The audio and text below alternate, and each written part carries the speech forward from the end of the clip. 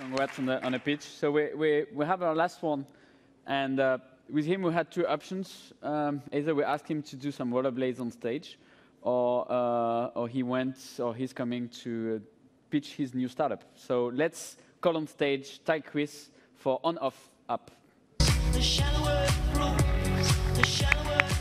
Hello, everyone. Hello, guys. Five minutes. Ready? Go. Thank you. So first of all, I wanted to say that I'm really proud to be here and be able to present my company and our technology. Before to start, I just wanted to share with you a sentence that I try to follow every day, and I give to my team.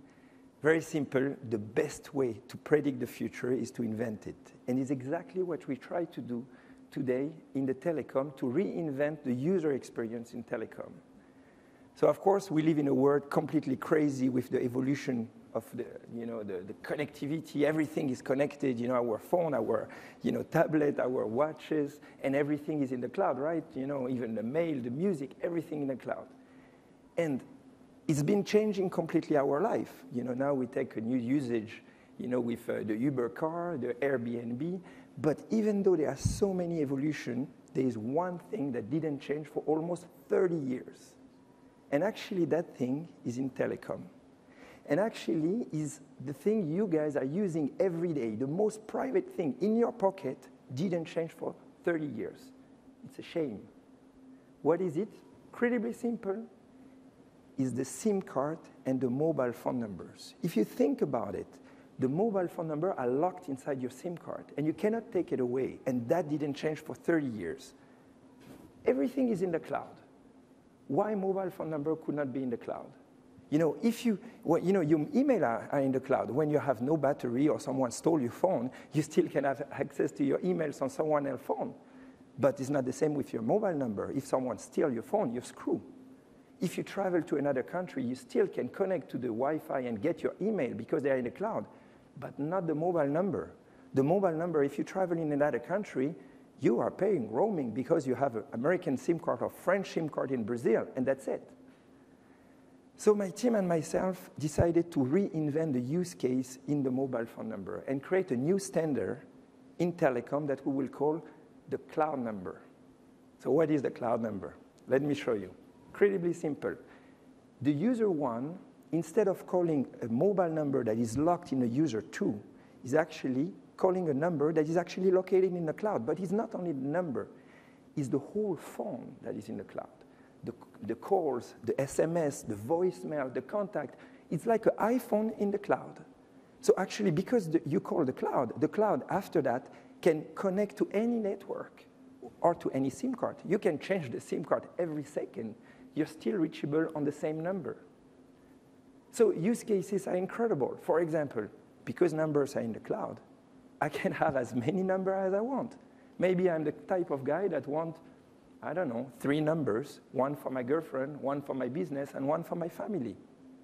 Or maybe, you know, I can have numbers from any country. I can have a French number when I'm in France, an American number when I'm here in America, or maybe Brazilian number just to show off.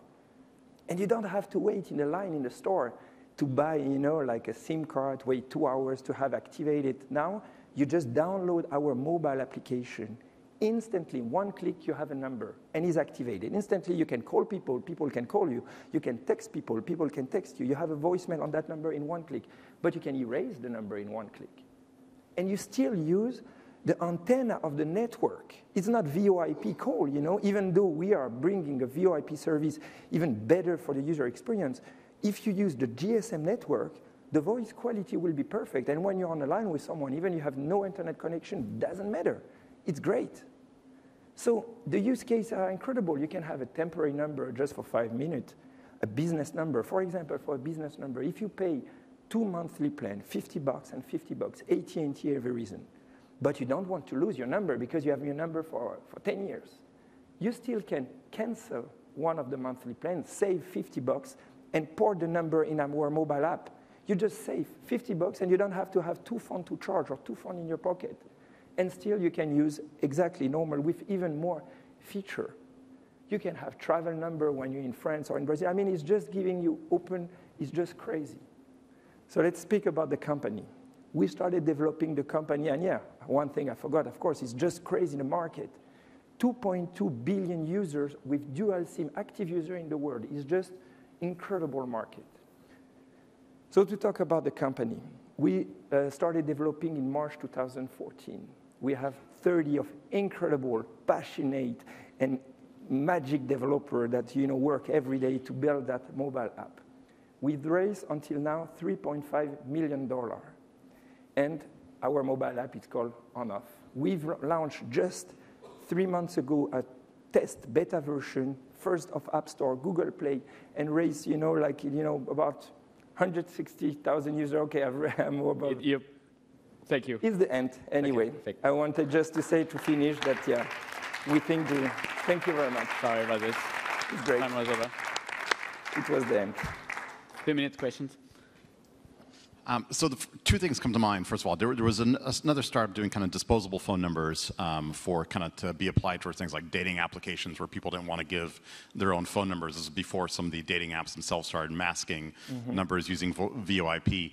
The other thing that, that struck me was there were some aspects of Google Voice with this in terms of being able to select phone numbers and have them kind of be mm-hmm. virtual phone numbers from, from elsewhere and then tying back into your cell phone. Now, did I get it correctly that you need kind of your app to, to initiate calls or can you do it from your, your, your phone dialer and standard? It's, everything is inside the app. That's why you okay. know, like uh, uh, we we bring like a total virtual phone inside the cloud, so you can dial from the app, even though it's using the GSM, because basically when you dial from the app, it creates an outgoing call from your SIM card, you know, and it changes in the cloud in the antenna the actually the numbers and uh, you can people can call you you can text people even if the people don't have the app so it gives a full experience on that so, so in ways, Skype also becomes, you know, with their telephony features, becomes a partial component. Not actually. This is something we bring a user experience that Skype cannot do.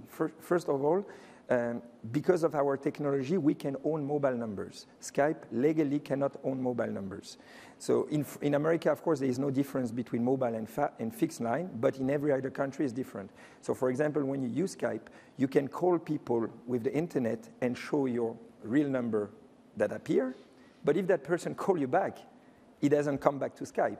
It comes back to the SIM card that can be off. With our technology, since the number is ours, we own the numbers and they are in the cloud, you can use, for example, VoIP on a hotel, call someone, and that person still can text you back and call you back, which Skype cannot do. Um, I think that you should start by telling about your traction and how many users you have because um, the story the story is great but like it would, it would have been it would have been better if we heard that first because basically I think the panel and I observed them like people were trying to figure out is this interesting or not? I think it's interesting but what I'm struggling with is I'm trying to understand what's my number one use case. I think the like what do you think is the number one use case here I like think are, distant are, number one? I think there are no. There are three main use cases. Of course, you know, people want a number just for one night or whatever. You know, temporary number just like that. You have so the burner app does that. Kind of that, but uh, the the business number is huge because you can port your number in our system. So for every business company, when you see, for example, small company, they cannot afford to buy a, to buy a monthly plan for their users all the, the small business, they use, the people use their, um, how to say, their private phone to come at work. So now in our platform, you can buy group of number for my, for my uh, worker. I can buy, for example, 20 number for my worker. I just put their email, they receive the number, and I can uh, transfer the number for every user. This is a huge use case for us. So business and, calls. Yeah, this is a lot. But also, you know, the user, they just want a phone. that will be the last use case. All right. Thank you, Thank you very Thank much. Thank you, all of you.